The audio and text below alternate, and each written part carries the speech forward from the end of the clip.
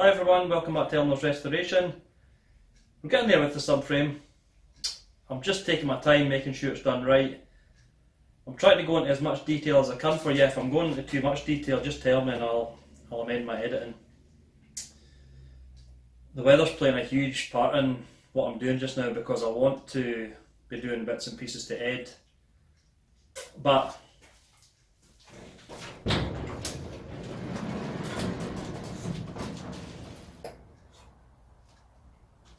snow. Snow, snow, snow. So it's snow in springtime, which is rubbish because we seem to have had snow for months and months. Good side, I get to do more on Eleanor. Bad side, I don't get as much done on Ed, and I want to get Ed up and running, ready to go, so I can enjoy him in the dry weather. So yeah, what I'm going to do is I'm just going to continue where I left off the last time, getting into the subframe. I've not got an awful lot left to do with it. It's quite time consuming though because a lot of it's painting, waiting on paint dry, then painting again, and you know it is time consuming. So I try to fit as much as I can into the videos, but it takes me a few days at a time to get from different stages, which is all part of the restoration, which is what I enjoy. Right, so you've seen me stripping down and building up the left hand side of the rear subframe. I'll be doing the right hand side as well, and I did say I wasn't going to put that in a video because it's mainly duplicate work. The only difference being the the way the hub nut comes off. So for the right hand side it turned um, clockwise to loosen just because of the way the wheel rotation. So um, other than that it's pretty much the same. I usually record it on video anyway just for my own logs so if anyone wants me to put it on a fast time lapse in a video can do that, that's not a problem, let me know.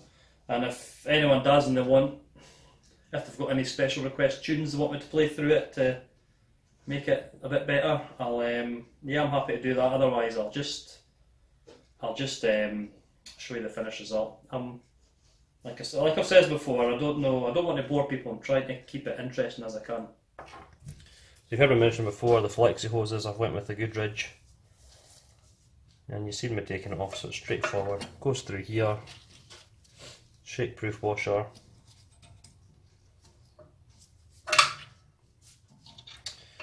held on by a nut.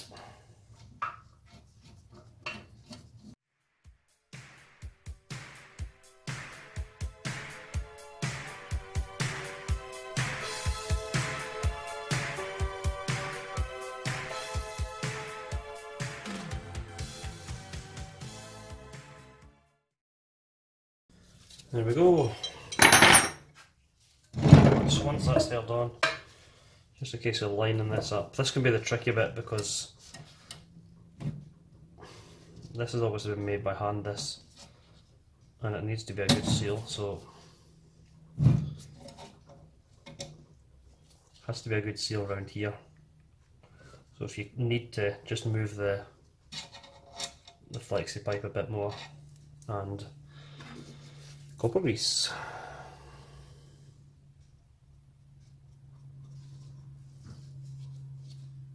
you do without copper grease? Now you've seen what I've done without copper grease. Float away every part.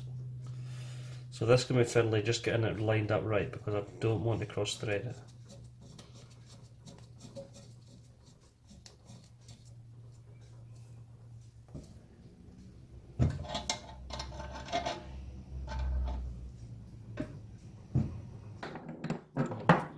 Right, new oil seal has arrived. A Couple of quid. Right, the only thing I never took out of this was the inner race because I'm using the same bearing. And remember, this the inner race has to go with the bearing that it came with. When I took the oil seal out, I had to knock out, so I don't know how well you can see in here, but there's a gap between the inner race and the inside of the the hub. That needs to be flush on both sides because if it's not level, then the bearing will be sitting at an angle on the wheel. You know, it'll, that'll wear the bearings out in no time, and the wheel won't run freely. So.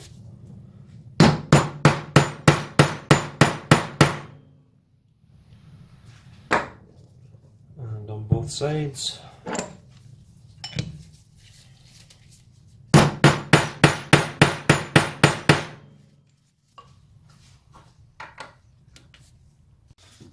There we go, tapped in.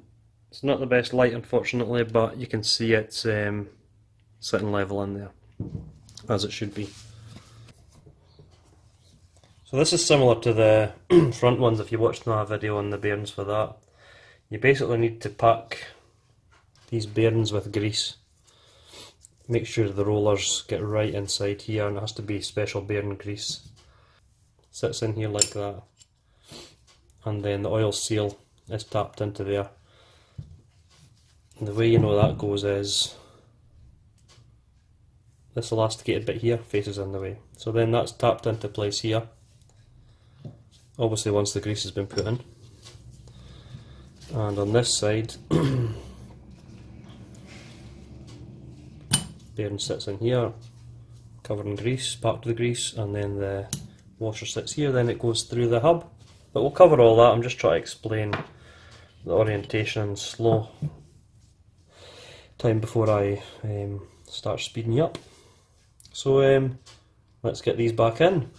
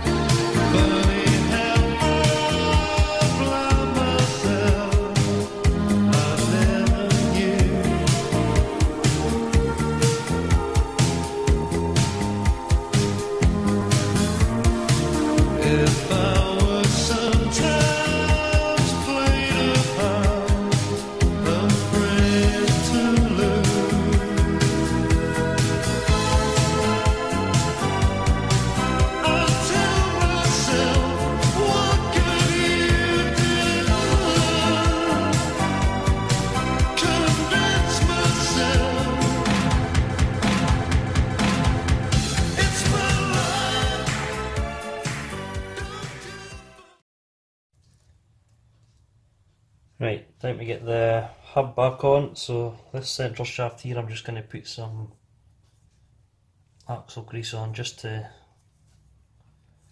help it slide on a bit better. Need to be careful with this bit here that you don't get paint on it because it's a tight fit as it is and if you put paint on it'll struggle to go on and it has to be smooth so before I done this I just cleaned it up with a little bit of degreaser just to make sure because it is tight. And what I'm going to do with this just going to take these bearings out at the moment till we can get it over. And likewise I'm coating the inside spacer of the bearing so that it goes over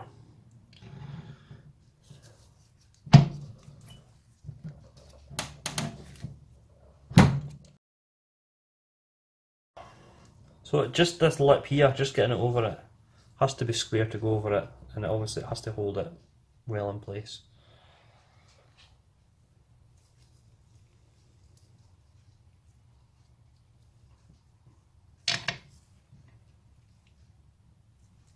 And this is just going to be just as tight. There we go. So wash up.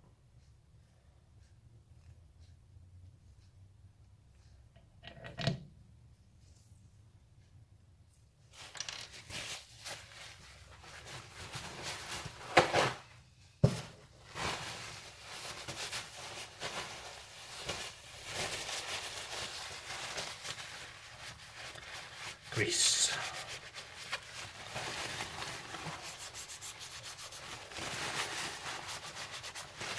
Luckily it comes off easy enough, but yeah. all over the shiny, nice new parts.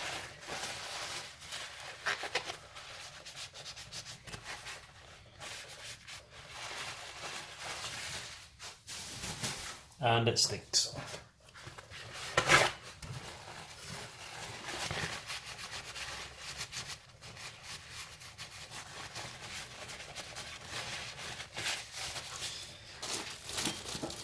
Right, finally, castle nut.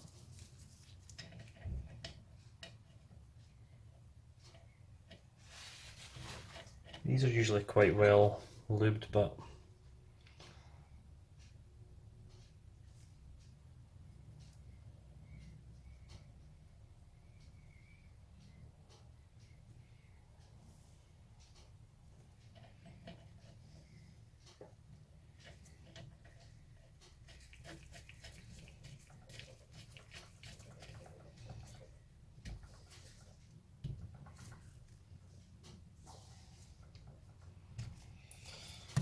That'll get tightened down. I'll tighten that down in a minute. I'm not going to torque it up just now because it'll be easier torquing up once it's on the vehicle. Once it's on the subframe. I can get a bit more leverage. So I'll tighten this down, I'll come back to you. So that's that tightened down. Not really tight, I'll still to torque that up, but see it's um it's moving nice, nice and free. In comparison to the other side.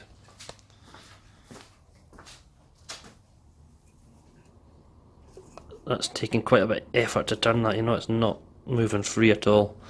So I am glad I went in there and changed the grease and got it all cleaned out. So yeah, that's another one off the list. Nearly finished the radius arm, we've just got to install the brake shoes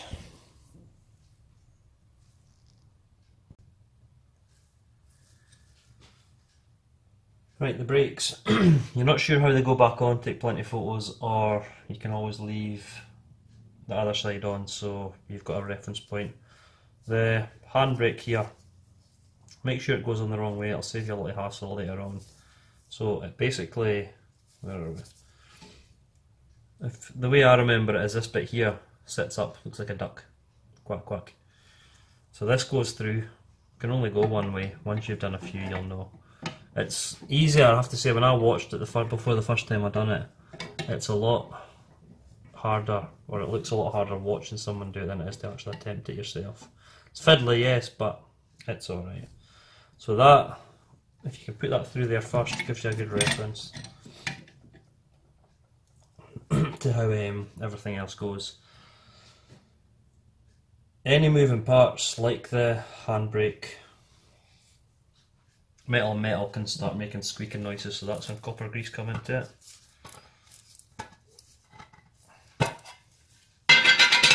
So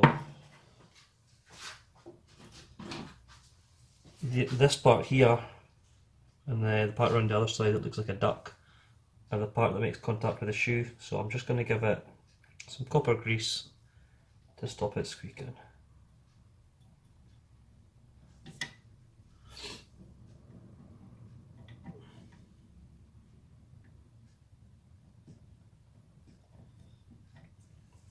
Doesn't have to be a great amount. the shoes, just be careful when you're working with copper grease that you're not getting copper grease on the actual surface of the shoe because brakes won't work.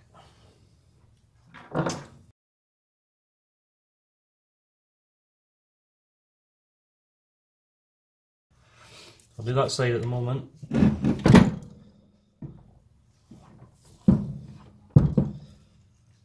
See it's fairly fiddly trying to balance this and um, show you guys at the same time. But I'll try my best. So, this part here is where this fits through. Like I say, it can be fiddly, it just take your time, make sure you're doing it right.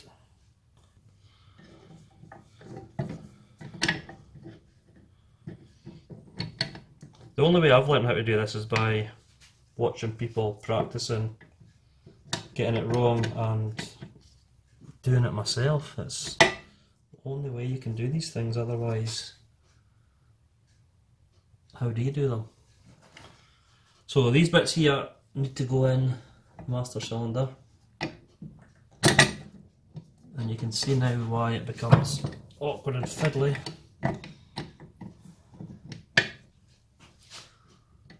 And I'll show you that in a minute, but um, if you remember as well, I taped this up to stop the adjuster parts coming out, so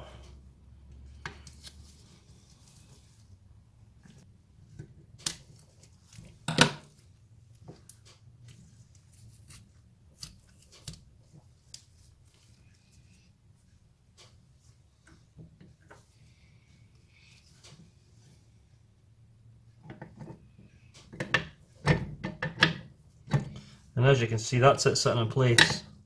If I let go, falls away. And that's why you've got the springs. The springs just hold it all in place. So if you find an easy way to do this bit, let me know. Because it's frustrating. So this one, you can see the springs are slightly different. Different lengths and different styles. The one with the coil bit in the middle goes on where the brake adjuster are and it goes in like this and hooks on. So one end hooks on here, this little bit here, and the other end hooks on this bit here. Whatever way you do it doesn't matter as long as you get the end result.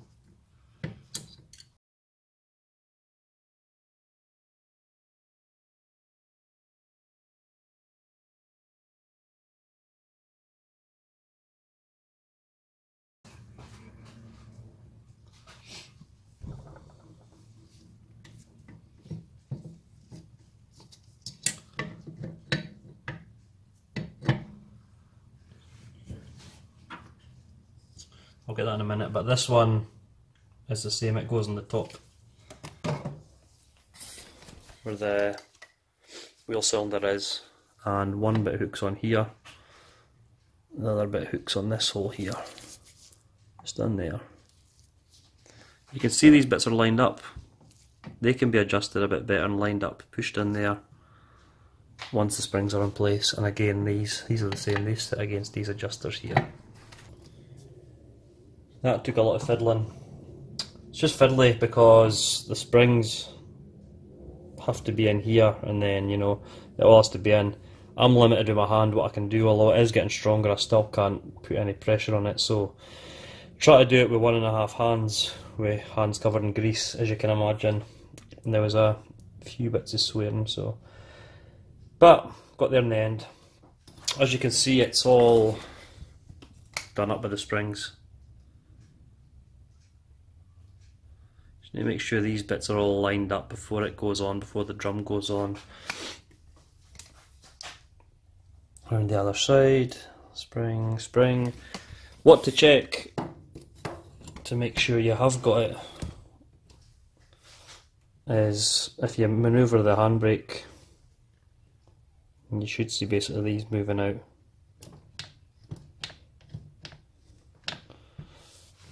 And you know it's all set up correctly. So, not my most favourite job, but um, one of the most important jobs. Right, everybody, that's the end of another video. Thanks for watching again. Brakes, I've said before, if you're not confident with brakes or you're not sure, get a professional to do it. You can't take chances when it comes to brakes. Even if you know what you're doing, double, triple check because they're brakes, you know, you need brakes. So, we got a few bits and pieces done in that video. Still got a few more to go to get the subframe fully built up, but we're getting there. And um, I'll just continue where I left off in the next video. Thanks for your support, thanks for watching, take care, and I'll see you in the next video. Cheers!